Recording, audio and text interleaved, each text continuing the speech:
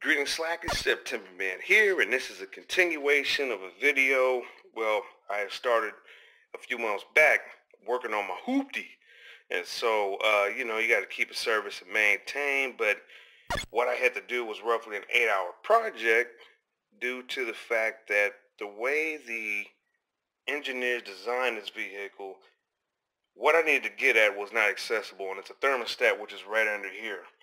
But I had to remove the manifold, uh, as you can see the upper and lower radiator hose, some belts, a uh, spindle there, and so now I'm on the last leg of the work, which is putting everything back together, putting all the hoses in place, putting all the nuts and bolts and everything. Because look, you know, when you out here rolling around, you want to be safe and secure. You want your ride to be dependable.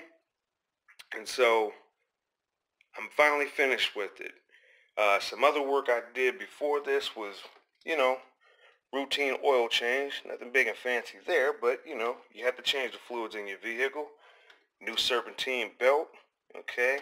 And uh, also a new power steering pump, which is right down in there.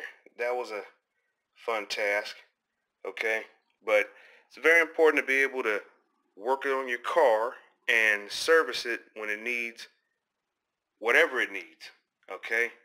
Um, to be able to service it is one thing, and some of these vehicles, the way that they're designed, uh, you kind of wonder what were the engineers thinking? Were they thinking with the customer in mind?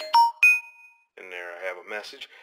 Or uh, were they thinking with themselves, their dealerships, their auto mechanics, and you know all the independent auto mechanics uh, that basically creates the illusion of an economy. You know, keeps people with a job to do all this work that I did here. God knows how much it would cost if I had to take it into a shop, but I did it.